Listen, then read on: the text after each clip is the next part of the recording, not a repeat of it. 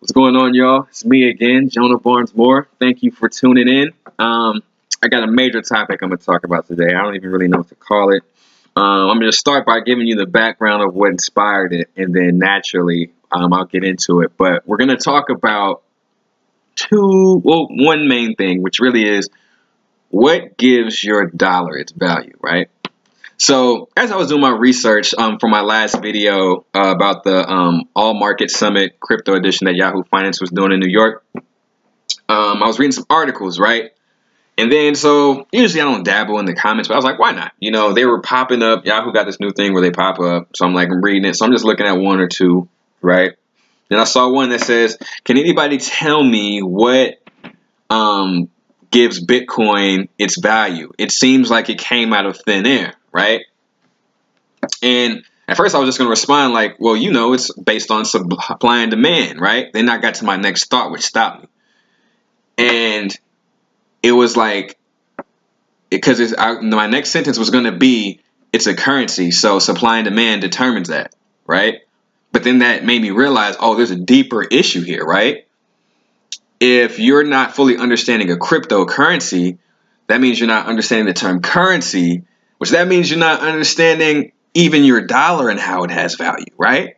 Because if you knew what gave your dollar value, understanding what a cryptocurrency, how a cryptocurrency gets its value wouldn't be a mystery to you, right? So I was like, oh, okay. I think we're get, I think we're getting somewhere with when we talk about the general population, and so like something that's just really, really not talked about because we're so used to using it and seeing value in the form of dollars, right? So today's topic is going to be what gives your dollar, right? Your dollar right here is value, right? So, like I briefly mentioned, right, it's the same thing as cryptocurrency, supply and demand, market, uh, circulating supply in the marketplace, right? How many, how much is out there? How much demand for it is there, right? How much do money do people actually need? right? So who controls supply and demand, right? In when you're thinking about your Federal Reserve note, right? What well, tells you right there, Federal Reserve, Federal Reserve, that is where your money is printed, right? And so the reason probably why you don't really hear about printing money, um, you hear more about um, you hear more terms like monetary policy, right, and controlling for inflation. Those are the things that you hear about when it specifically comes to printing money. But the Federal Reserve prints money, and that's our government printing money for a number of reasons, right? Because they want to control inflation. They want to control, make sure the economy is still running smoothly, right? Smoothly. We're going to use the parentheses that is running smoothly, right? but um, that's who really has control, right? That's who's controlling the supply and demand of the dollar, right? And so when you think about, well, it's just simply supply and demand, right? There's demand for money, which is very high because it's so widely accepted, right? You can go anywhere and spend this, right? It doesn't matter where I'm going. I could go, if I go out my door and be like, hey, anybody want $20? Somebody's going to come run and try to grab this $20 from me because there's demand for it, right? The only difference between cryptocurrency is there isn't a lot of places where it can be used, but there is a lot of high demand for cryptocurrency, right? So you got to think if the dollar can be used anywhere, right? It's probably not going to have that high of a value if you're basing a whole economy off of it, right? Because last thing is you want your dollar to be worth, um, let's go, just like this twenty dollar bill is actually worth twenty five thousand, right? Imagine trying to trade 25,000 with a whole nother country. A country's not going to want to do that. They're like, no, why, why, why do I need your dollar if I can have my own currency, right? So that's kind of why all other currencies, they, they have um, different values at different times depending on supply and demand, right? And they exchange with each other, right? Depending on supply and demand. And so they kind of regulate it, and that's how the actual because there's a whole foreign exchange market out there outside of the stock market that you that traders actually can make money on, right? So it's the same thing when the price of the dollar is up and it's down, you can trade it for other. Um, they basically fill orders for other um, currencies in the world, right? So you don't want this to be too strong and super inflated, really, which means that um, the price is way more than what its actual value is worth on a global scale, right? So that's what monetary policy does. They want to control. The government is constantly trying to control how much this is worth. Your Federal Reserve note is worth on a global scale compared to other um, currencies around the world, right? So, long story short, that was a long way of saying that government controls the supply and demand of your Federal Reserve note. That's what simple in one sentence. That's what gives a dollar its value, right?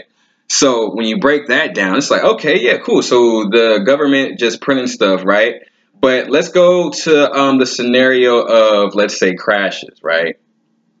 When things go bad, because that's what everybody talks about. Cryptocurrency, oh, it's a huge bubble, it's gonna crash, it's gonna come crashing down, and it's gonna be go away, like you know, just like that. That's not happening. But um, let's just say the U.S economy crashes, right? Let's go back to 2008. Let's go back to when um, there was a huge housing bubble with the whole CDOs and companies betting on other companies, and it all comes crashing down because at the end of the day, there was nothing, there was no value really. Everything was overvalued. It was a, it was a giant bubble. It was super inflated in the financial market. It was inflation in the financial market, right? So the bank runs out of money right? 2008, the bank runs out of money. Your bet, your dollar ain't worth too much right now. It's it's it's not hot, right? Your dollar is not hot because it's overinflated, it's overpriced, it's not really worth as much as everybody thinks it is, right? So the, the banks just run out of money because they're trying to pay debts um, to other countries because like your dollar ain't worth that much, right? Give me give me our money, right? So they're trying to pay it out, whatever. This is not what happened. This is a hypo- hypothetical scenario I'm talking about right now. So they pay it out, but then you walk up to your bank like, no, I want I want cash. Give me my cash. Like I need to have basically because you're what I want my value. Like you know what I'm saying? The bank is paying the government. The government is paying other countries. Like give me my value. Pretty much, that's what you want. Take it out. Uh, give me my value, right? The bank is going to sit there and tell you that they have nothing for you in 2008, right? They're going to say, we we we can't, we don't have anything. We got you. We got your credit though. We got we got we gonna keep track of your value here, but I actually have nothing to exchange for you, right? Like how you how am I supposed to do anything if I don't have if all my value is tied up in a bank and the bank doesn't have any collateral to give me, right? In the event that something catastrophic goes down and like oh snap, I don't even want this dollar no more. Like people aren't accepting dollars. Yeah, so hypothetical, right? Banks run out of money and every so now businesses are like, man, the dollar's not worth anything. All right, I don't even accept money anymore. Like I just need, you know, my car washed. We go back to trade times. We go way back. So this is a hypothetical, right? We go way back to like back trade and barter, right? And so this dollar is no longer accepted. Your bank doesn't have any, right? So the bank is should is your government, right? should be obligated to give you some collateral right back. Like, all right, sorry for that. Like, the, or the bank, right? The bank should give you some collateral. Like, say, hey, we don't have this, but we got this, right? Because that's what happens when you know companies go into debt and or they go in bankruptcy and they have primary shareholders. They start walking up in the company talking about like, nah, give me this phone, that's worth something. Give me this, you know, give me this machine, that's worth something. Give me, you know, uh, this desk, that's worth something. That's what you know would ultimately happen, and that's how you get back to getting value, right? So hypothetical 2008 money's no longer accepted the banks uh, don't have any more money where is your value now right where where is it where is your value right it's really nowhere you they, there is no collateral right so let's go back in history now past 2008 in the hypothetical situation let's go back to real real history um, in the 1900s, before uh, before 1971, right? So anytime before 71, 1971, let's go back there, right? So there was a time where if the bank ran out of money, right, you could go trade this in and be like, I don't want this, you know, the economy's going bad here. They'd be like, all right, here's some gold, right? Because that's when the dollar was actually on the gold standard. But that wasn't a plausible. That didn't last too long because it's not plausible. Number one, gold was a very scarce resource, right? That is something that's never growing, right? You can't really make gold. Gold's a natural resource, has to be mined, you know, you have to dig in the ground, find it, um, keep it in a certain state, all kinds of things, right? So back then, before 1971, the economy and your Federal Reserve note was based off of the gold standard. So for this twenty dollars is actually worth um, a couple ounces of gold, right, or something like that. Whatever it is, couple ounces, couple, whatever, something in gold your twenty dollars is worth, backed by the gold standard, right?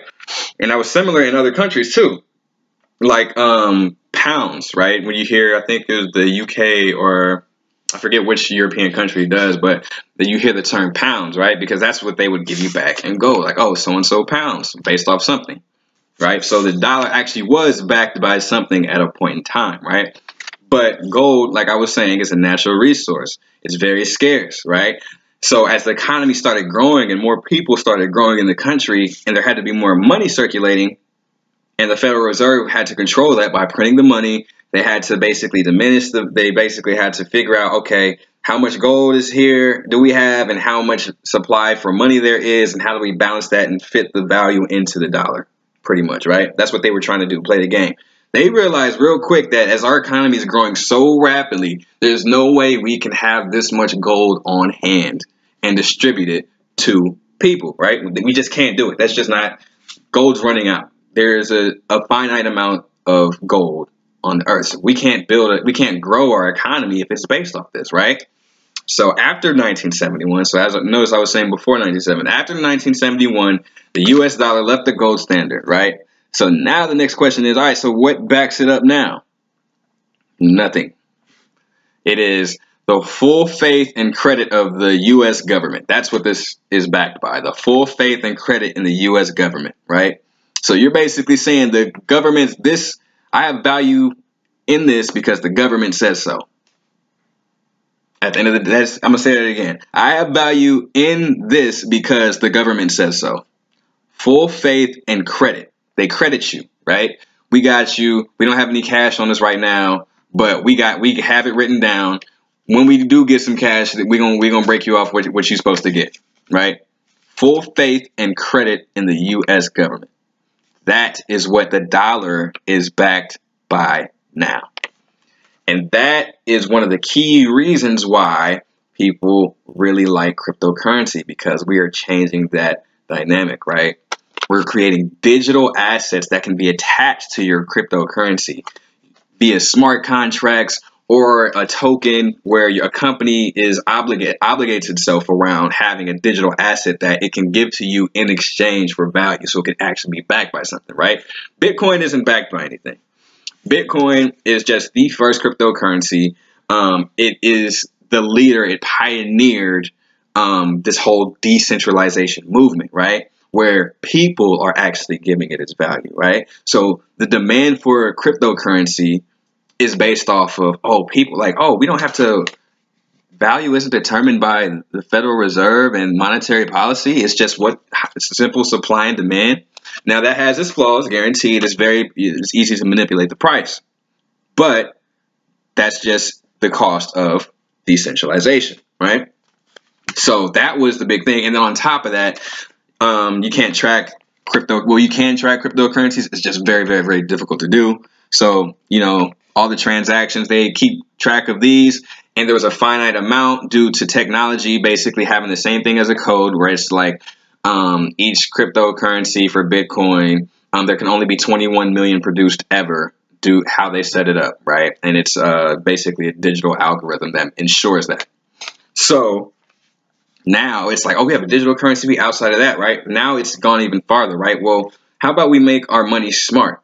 That's kind of where we are right now. It's like people are innovating and trying to make money smarter, our currency smarter, where we can actually have something that's backed by it, right? And international. Or we can just determine, me and you determine, hey, we think that this could be valued like this. We like it so much that it should be this value, right? As opposed to the government using its monetary policies and power to kind of control the price for inflation.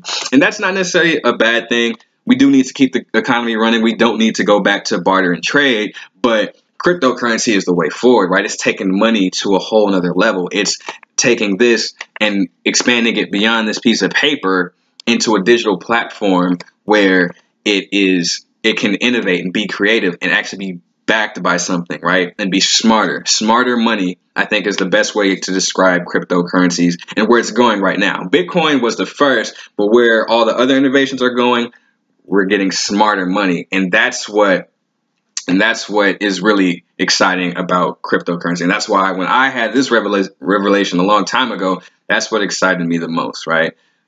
We can make our money smarter. We've just been going along with having our dollars using this because it's widely accepted, it's normal, it's comfortable, right? It's comfortable. But now we're trying to push the envelope once again, which I think this is a paradigm shift in in our world, simply simple and plain, that we can make our money smart. We can actually have it backed by digital assets. The people determine what its value is. That's a whole other concept that we're just not used to, right? So that, in a nutshell, is now you know what gives the US dollar its value, right? It's monetary policy and the federal government using um, tactics to pretty much make sure the economy still runs, right? By controlling the supply and demand, by controlling how much is printed, how much is needed, balancing it make for inflation, things of that nature, by printing, by simply printing and not printing. Monetary policy, or in taxes, and taxes is another form of uh, controlling uh, monetary policy right? That's what that's what gives your dollar its value. What is your dollar backed by? The full faith and credit of the U.S. government, right? It was previously backed by the gold standard in 19 standard in 1971. No longer doing that because gold was too scarce, and to and the economy was growing. So that was a bad um, model to base it off of. But yeah, so I just want you to think about that now when you're out there spending your money, right? your Federal Reserve note, what gives it its value? This has been calculated. It's a bunch of economists, a bunch of uh, policymakers and lawmakers trying to keep the economy afloat. That's what determines this. And cryptocurrency, it's the people that determine the value, right? It's not even like the stock market, right? The stock market is like where the people determine the value too, but they more look for um, values of companies and what they're doing and all this other convoluted stuff. But when most simple cryptocurrencies are the value is determined by its people, right? So just think. Of, now, I just want you guys to think about that because I think that's something that's just simply not talked about enough. Um, because we use it so much, we're so used to using it. It's something you don't really think about, right?